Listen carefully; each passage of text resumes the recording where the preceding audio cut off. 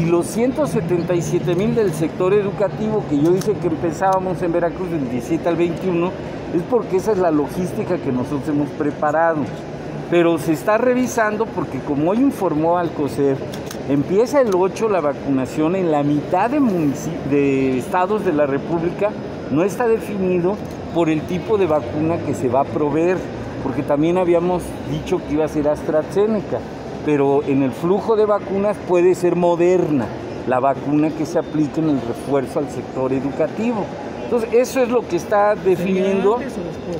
Eh, puede ser el 8, puede empezar el 8, puede empezar el 17 y puede ser Moderna, puede ser AstraZeneca. Esto le está definiendo la campaña nacional de vacunación. Lo importante es que va a haber refuerzo al sector educativo. Nosotros estamos listos.